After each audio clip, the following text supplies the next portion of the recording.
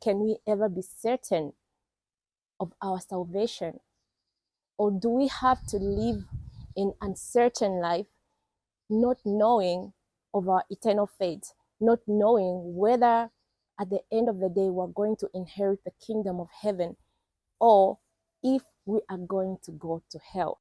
The Bible says that it is appointed for man to die once thereafter the judgment. In the in the book of Luke chapter 16, Jesus tells the story of Lazarus and the rich man, showing us that there are two destinations where the dead go. It's either heaven or hell. So, how can we be sure that we are going to inherit the kingdom of heaven? When we read the book of Acts, chapter 2, verse 38, this was after the baptism of the Holy Spirit, after the Lord had given the Holy Spirit to the first church. And the spectators, the people who saw what happened after the apostles had preached to them, they were deeply convicted of their sin and they realized that they were going to end up in the pits of hell. And they said to the apostles and said, What shall we do to be saved? What are we going to do to escape going to hell once we die? And the apostle Peter answered them and said, Repent of your sins and be baptized in the name of Jesus Christ. So the Bible has given us a clear means, a clear road to salvation. And if we follow this road of salvation, we can be certain of our eternal inheritance being the kingdom of heaven and not hell. In John chapter 3, verse 16, the Bible says that for God so loved the world that he gave his only son, that whoever believes in him should not perish, but have everlasting life. And Jesus tells us the story of a father who had two sons and asked the first son to go and work in the field. And Jesus said that the first son said that I will not go to the field.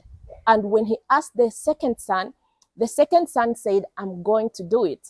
But the one who, who said, I will not go to the field, ended up, you know, changing his mind and actually going to do it.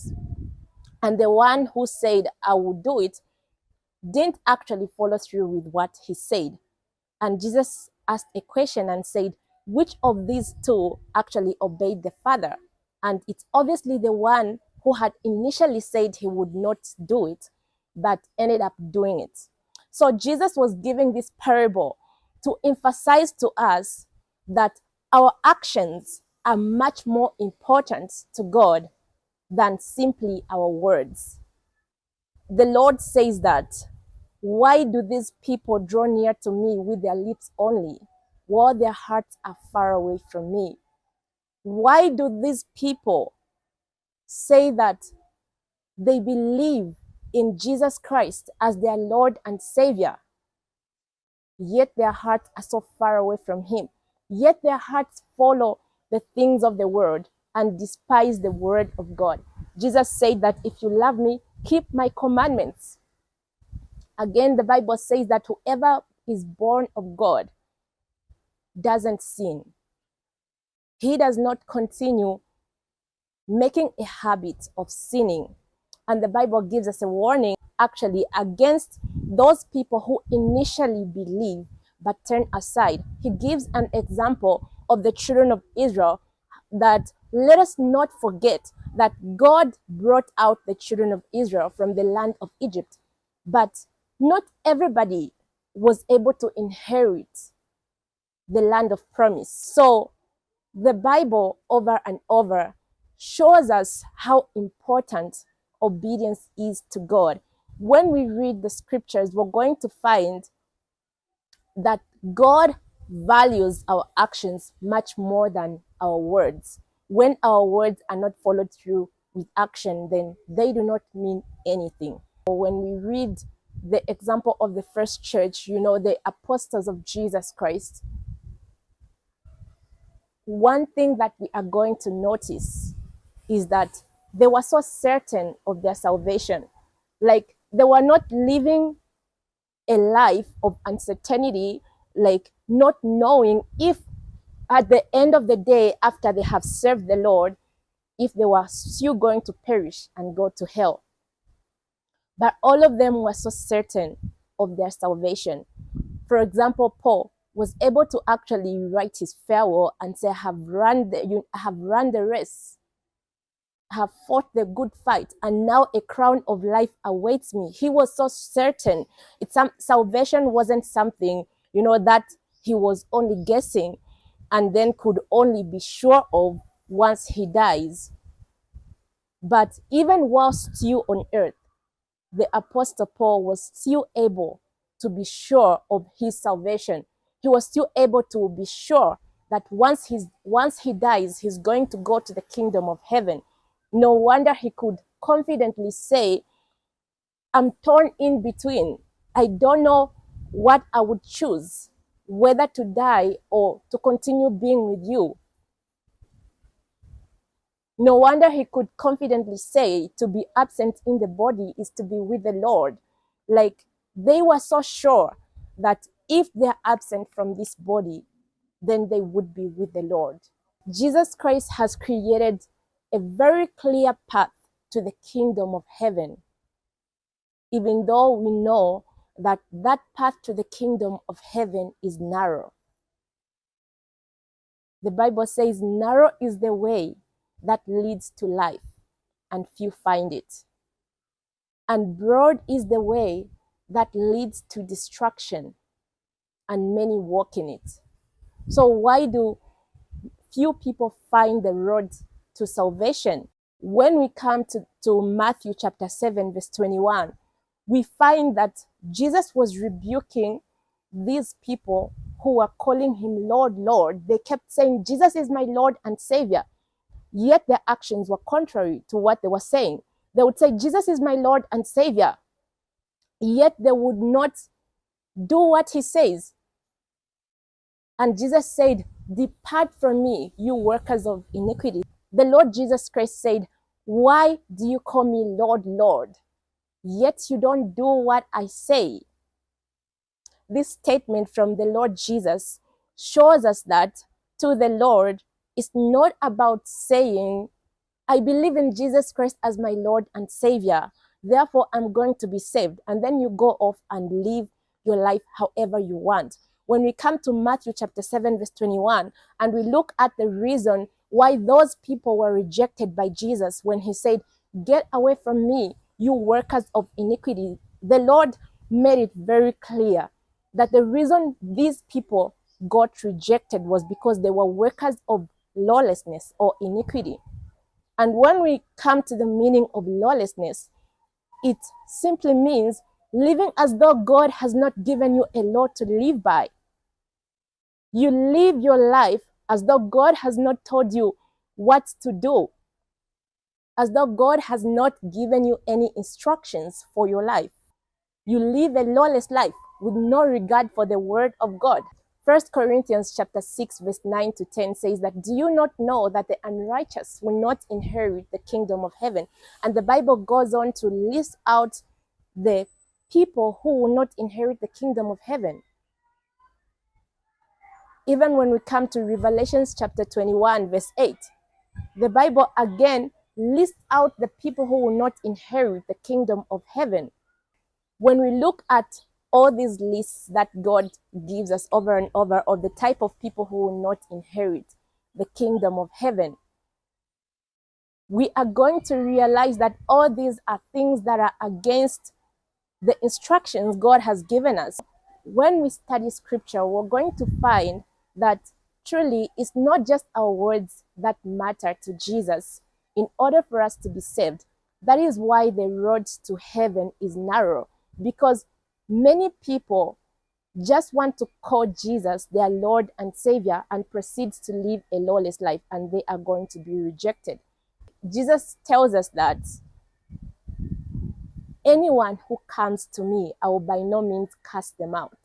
So Jesus simply shows us that, you know, salvation is up to us. He has paid the price on the cross of Calvary. But now it's up to us to believe in him as our savior and continue to abide in him because Jesus warns us that the tree that does not bear good fruit is cast down and thrown into the fire. So that is a warning about disobedience. But if we want to be sure and to be certain, like the apostles and like the early church could be certain of their salvation and know that they are going to inherit the kingdom of heaven once they die, then we must find the road that leads to life that the Bible says few find. Very few find. And that is we have to be to repent of our sins, like the Bible says in, in Acts 2:38. It's not just about us saying Jesus is our Lord and Savior, because he says, Why do you call me Lord, Lord, yet you don't do what I say? So we must be like that son. Jesus gave an example, you know, that son who actually went to do it. God cares about what we do than what we say. And the Bible tells us that God cannot be mocked. We cannot deceive him with our words and say, He is my Lord and Savior. But our actions must follow suit. When we have believed in Jesus and our actions follow suit, by us continuing in obedience until the very end, then we can be certain of our salvation because God has given us assurance of his salvation through Christ Jesus, that Jesus has paid the price on the cross of Calvary. And if we truly make him our Lord, meaning we submit ourselves to him, submit our lives to him as Lord, like obey him, not living a life of lawlessness, because when we come to the great white throne judgment, the Bible tells us that each man is going to be judged according to their works. The Bible says that we must all appear before the judgment throne of God to give an account for our lives. And Jesus proceeds to warn us and says that even the words that we speak, he says, every careless word, God requires an account. So that shows us that God is going to check our actions, not just what we claim. That is why we're going to be judged by our works. Our actions are going to show whether Jesus was our Lord. So if we say Jesus is our Lord and Savior and proceed to live a life of sin and disobedience, if we proceed to live a life of drunkenness, witchcraft, unforgiveness, envy, gossip, slander, if we proceed to live a life of fornication, adultery, all those are fruit of our unbelief. And the tree that doesn't bear good fruit is cut down and thrown into the fire. And Jesus is going to say, Why did you say, Lord? Why did you say to me, Lord, yet you didn't do what I said? The Bible says that let us not just be hearers of the word, only deceiving ourselves, but rather let us be doers of the word. So when we hear the word of God and you know, and we say, No, Jesus is my Lord, I accept what he has done on the cross of Calvary, I put my faith in him, but we don't follow that with action. We don't actually do what God says. We don't actually do what Jesus says to show that he is our Lord then we're only deceiving ourselves. But if we want to be certain of our salvation, then we must believe in Jesus Christ. We must believe that Jesus died on the cross of Calvary for our sins. And we must proceed to start to obey what he has said. When we put our faith in Jesus and live a life of obedience, we can be certain of our salvation. And God is going to give us the Holy Spirit, whom He says is a seal and a token that God gives us. You know, it's a token that the Lord God has given us as assurance of his salvation and as assurance that we're going to inherit his kingdom. He gives us the, Holy Spirit to lead us and to convict us and to keep us, to teach us, and to keep us separate from the world. Because the Bible says that God is able to keep us from falling. So we can have this assurance that if we continue to obey the Lord Jesus and continue to seek Him, depending on Jesus, you know, because obedience to Jesus isn't just about us just following rules, you know, without having a relationship with Jesus, like without prayer, without seeking God ourselves, because we're going to find ourselves failing to obey the Lord because we're going to be overpowered by the flesh. If we feed the flesh, we are going to reap of the flesh. But we have to starve our flesh and begin to feed the spirit so that we may bear the fruit of the spirit that is pleasing to God and that brings glory to the name of Jesus. And we can be certain that when, when we die or when Jesus comes, we're going to be found in him and we're not going to be ashamed. Because Jesus is faithful and he is good. Jesus is faithful. And if we follow him with all of our hearts, we can be certain that he is going to make sure that we are saved because he has already bought us by his precious blood. He has already paid the price. The road to salvation begins at Calvary. And then we have to continue on the straight and narrow path, not looking to the left, not looking to the right, but looking to Jesus Christ alone, the author and the finisher of our salvation. I had shared with you uh, a revelation that Jesus Christ had given to my husband. He saw the holy city up on a mountain, and there was a path that was leading to that city. That path began at Calvary. It began at the place where Jesus Christ was crucified and where he died. And as you leave Calvary and begin to move towards the holy city, there were steps that were ascending to the city. And on each step were, were inscribed the scriptures, the word of God you know, scriptures from the Bible, all the books of the Bible were inscribed leading up to that city. And God was just using this illustration, you know, to show how salvation really is. It begins at Calvary. You know, it begins with you believing in the sacrifice of Jesus because even though you may obey all the instructions of God about how to live your life, you know, and begin to or to live in obedience, without you first believing in Jesus Christ and his sacrifice, believing that Jesus died on the cross, believing that his sacrifice made a way for you, for your forgiveness. You cannot be saved. So it begins at Calvary. You believe in Jesus as your Lord and Savior. Now you must follow on this narrow and straight path that leads to the kingdom of heaven. If you die if you die while you are at the very beginning of your journey, which is right there at Calvary, you know, because everything was paid for and finished at Calvary. So even if you die there at Calvary, like as soon as you you believe in Jesus, you die, you are going to go to the kingdom of heaven. Because it's our obedience doesn't earn us our way but our disobedience disqualifies us because Jesus says, Why do you say I'm your Lord, yet you're not doing what I'm saying? So if you die right then, then yes, you make it to the kingdom of heaven because you know it's it's got nothing to do with you, it's about Jesus. But if after you believe in Jesus and you continue to to be alive, you continue here on earth, God expects good fruit from your life. He expects the evidence that you are His.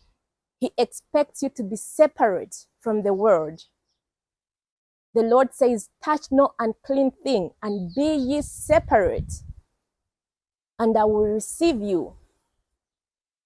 So, God expects us to be different from the world. to be separate, to bear fruit, not to cause his name to be blasphemed. He expects us to bring fruit that are going to make people glorify him. So that is why, you know, in that illustration that God had shown to my husband that I was giving, uh, uh that I'm using as an example just to make you understand, you know, the, even though the road begins at Calvary, as you ascend, you begin to meet the books of the Bible. You begin to meet God's instructions, you know, God's instructions to make you live a holy life and to make you more Christ like. And that is why Jesus said, Get away from me, you workers of iniquity, because these people had believed. But when they had continued living their lives, they did not care to obey the Lord and they were rejected. But if we continue in our obedience to the Lord, God is faithful. Jesus is faithful. He says, I cannot cast away those who come to me. And He is going to make sure you are saved. And you can rest assured of your salvation because it is by the blood of Jesus. And He is a good God and He is faithful and will save you.